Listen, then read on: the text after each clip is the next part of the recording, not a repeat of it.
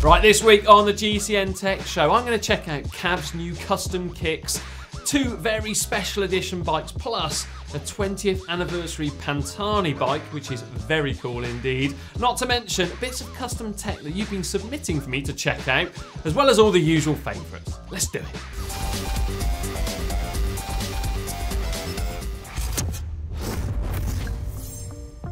First up this week is news from Mark Cavendish, and specifically some new footwear I saw on his feet at the UAE tour. Now, I did say to Cav, nice shoes, mate, and he did commend me on my eagle eyes for spotting them, but at the same time, did say to me, keep them sealed up until Paris Nice. And I did, Mark, so there you are. And he did actually reveal them first on his Instagram page.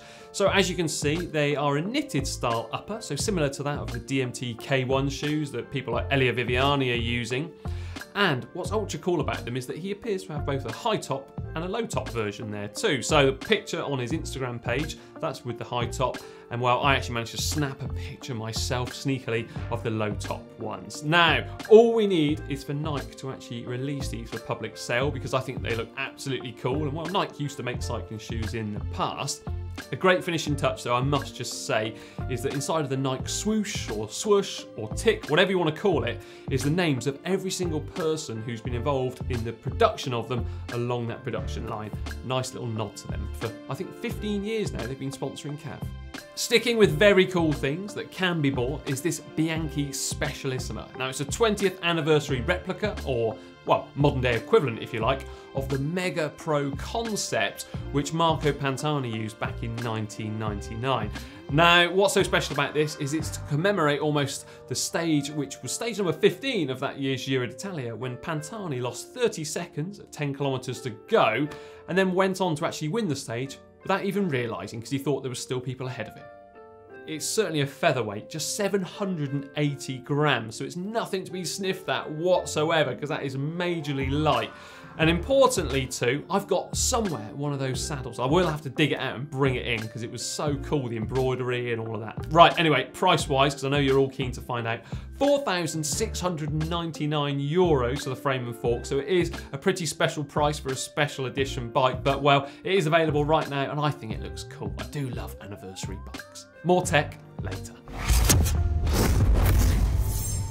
Now, the subject of homemade cycling tech and things that you could be doing from the comfort of your own home is very fresh in my mind because whilst at the UAE tour and at the top of Jebel Hafit, I bumped into a GCN viewer, Raymond Afokwa, and he told me that he was absolutely loving the videos I did with Adam Hansen and Rob Hales all about working with custom carbon fibre.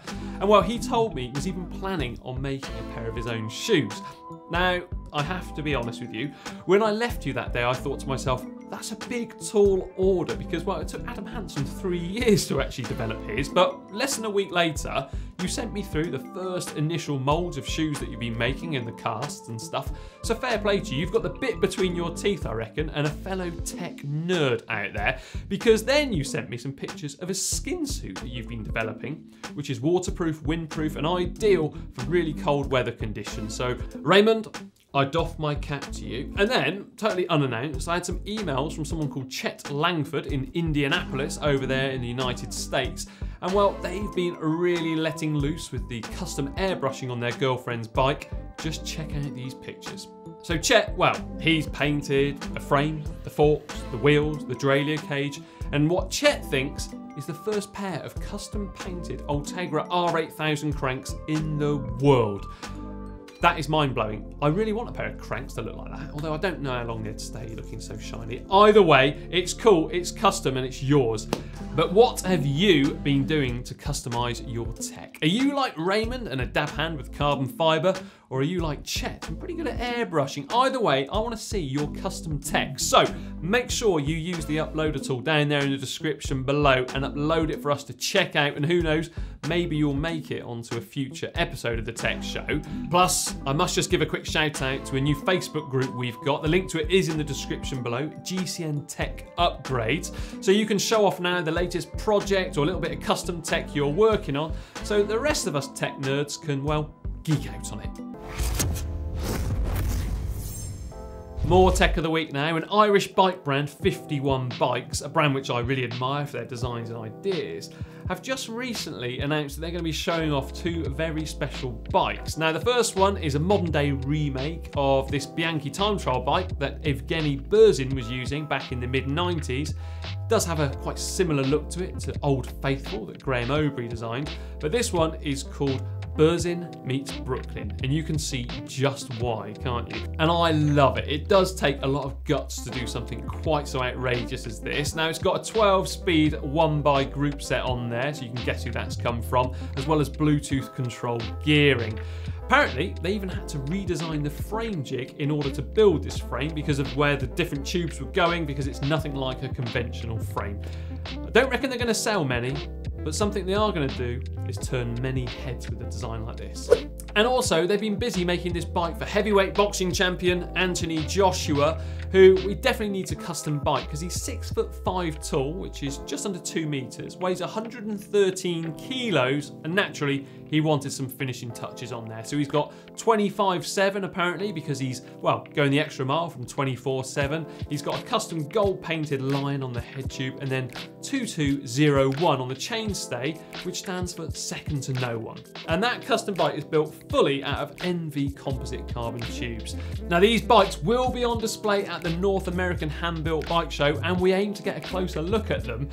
Now sadly, I can't actually go because of some visa problems out of my control. But the good news is, Catherine, my colleague, she will be going over to actually check out all the latest and greatest bits of hand-built tech from that show.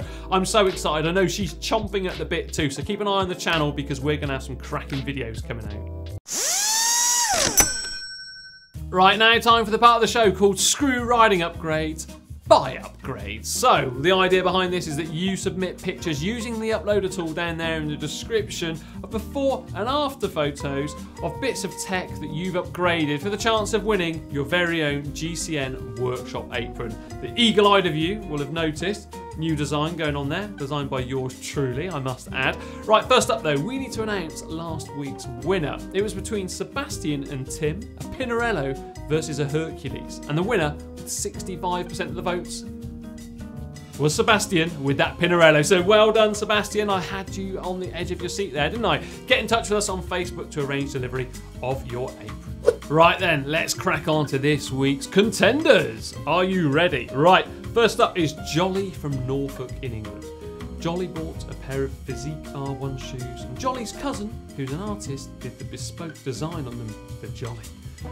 There's the biggest climbs they've done Mount Teide at 7,144 feet, highest speed of 57 miles per hour, number of Britain's greatest climbs completed, and the KOM crowns, one for every 30 KOMs they have. Look at those, they've gone from white to, well, a pretty decorated pair, I must say. Right, Jolly, you're up against Chris, though, this week from Bunbury in Western Australia, one of my favourite places. Right then, Chris wanted to start riding, so he bought a Look KG76 frame all beaten up with a seat post stuck in it for just 70 Australian dollars. $800 later, and it's a fully working, running Ultegra 6800 group set bike with Fulcrum 3 wheels, and it's super light at just 7 kilos. Chris, this is a beauty and a bike frame which I'm extremely jealous of you having because you got that for just $70. Those things sell for hundreds and hundreds of pounds normally. I do hope you're not trying to pull uh, my heartstrings here and trying to get me to vote for you. Either way, what I am also interested in, how on earth did you get a 130 overlock nut diameter hub inside of a 126 millimeter overlock nut diameter frame? You could well be doing a little bit of damage there. But you did tell me, Chris, that it is working all okay. But who's it going to be? Is it going to be Jolly in those customized shoes or Chris and that, well, bargain look frame? You decide. Vote up there. Next week, we'll reveal the results and have two more battling it out here. Right, Bike of the Week time. The part of the show where you get to vote on your favourite bike out of two that we put head to head.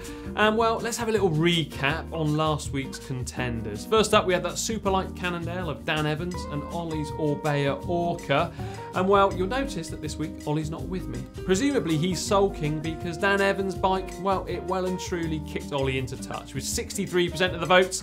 Congratulations, Dan Evans. Right, let's move on then to this week's contenders. Two bikes from Strade Bianche from last weekend. First up is the Scott Foil RC of Annemiek van Vleuten. It's got full Shimano Dura Ace Di2 group set, Dura Ace wheels, Pirelli tyres, a great looking bike. It's up against the Cervelo R5 of Nicolas Roche of Team Sunweb. Now the bike, again, it's got full Shimano Dura Ace group set, Dura Ace wheels on there too, and some really nice looking paintwork.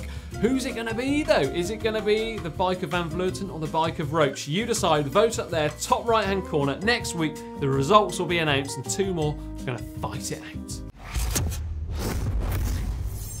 Right, bike vault time. So you know what that means. The bell is back. The bell is back. I'm back. I'm on my own, so I don't even have to consult with anyone else this week. So if you want your bike to go into the bike vault, you know what to do by now. If you're not well aware what to do, simply use that uploader tool down below and include pictures of your bike, where you're from, details about the bike, anything you think could convince the judge to give you a super nice. Only joking. Right, anyway, let's crack on. The first entrant this week is Uma Muli from Erindingen in Switzerland.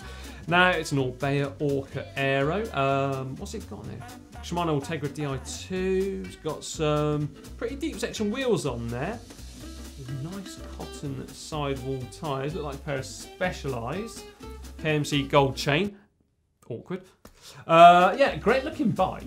The only thing I'm a little bit hesitant about this one, Uma Muli, is that the saddle I know it's not really far back on the rails, but because of the drop nose on it, it's one of those Selle SMPs, I think. Um, it looks like it's really far back on the rails, so I'm. I don't know. I pers. I, sorry, nice bike, nice bike. Moving on. All right, Tom from Warwickshire. Now, Tom says this is their latest pride and joy, which Sigma Sports, which is a bike shop in the UK, managed to get hold of them, despite Specialized not actually releasing the team frame in the UK. So, as you can see, it is one of those beautiful Specialized S Works. I love that. It looks really great. You've got your oval wheels on there too to match in nicely. Apparently, they're the S Works Hell of the North clincher tyres too. And well, Tom reckons this is the only one of its kind in the UK. It's shot, that is such a traditional British backdrop, Tom from Warwickshire. Yeah, it's gonna get it. It's gonna get a ring! Bell. Right, first super nice this week. Next up is Neil from Estepona in Spain. Beautiful part of the world. Neil. Right, it's, uh, it's a special edition 2014 Mark Cavendish Specialized Venge frame set, built up as a replica, including custom Zipp 404 decals. Check that out. We've got yeah, Di2, tick. Uh, rotor chain set, really cutaway rings on that one. Green Speedplay pedals. I'll have to geek out a bit on this one. Zipp stem, matching. It was like an Adamo saddle with the green bits on the back there too. That's a nice one. I, I like the backdrop of that too. Yeah, do you know what? You're gonna get Neil. You're gonna get super nice, mate. Congratulations. Right, next up is Micah in Australia. Now, Micah, classic case. You need to give a bit more of a description where you're from than just Australia. Big old place that. Both me and Quacker, the cameraman, we went down there for the tour down under. We know just how big the place is.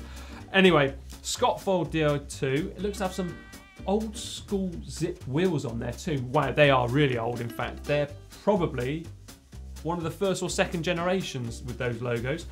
It's got a skinny old chain set on there. Looks like a Campag chain set or something. Nice graffiti in the background. Always big fan of graffiti as long as it's legal.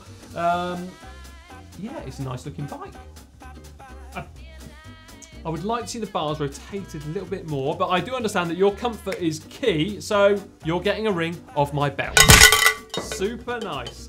Right, next up is Reed from Rhode Island in the United States of America. Apparently, it's a 1987 Bianchi Brava. Uh, it's got a Shimano Dura Ace 7400 group set. I love that group set so much. It's probably my favourite Ace ever. Uh, apparently, though, it does have the 7800 brake, so a couple of generations on. And that is a whopping 55 tooth chainring on there too. I love those. They're you know big, full of logos, but it's just a great looking chainring. Uh, we've got a downward facing stem. It's like a Nitto one or something like that, like an NJS style Kirin stem. Fizik saddle, so going pretty modern with that, and then got some modern Hunt wheels. It looks like too. So they're going to be probably running tubeless tyres. Those Schwalbers. That's it. It's like a, a retro bike, but still looks absolutely bang on. So good news, you're getting a ring of the bell. You know what to do by now. Submit pictures of your bike using the uploader tool down there in the description below. And who knows, maybe, just maybe, you will get the most coveted award of them all, and that is Super Nice.